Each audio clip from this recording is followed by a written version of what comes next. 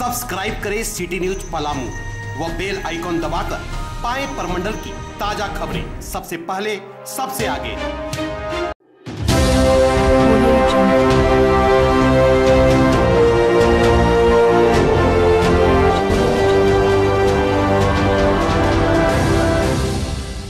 लातेहार जिला अंतर्गत ग्राम पंचायत परसही का सत्रहवां स्थापना दिवस मंगलवार को समारोह पूर्वक मनाया गया।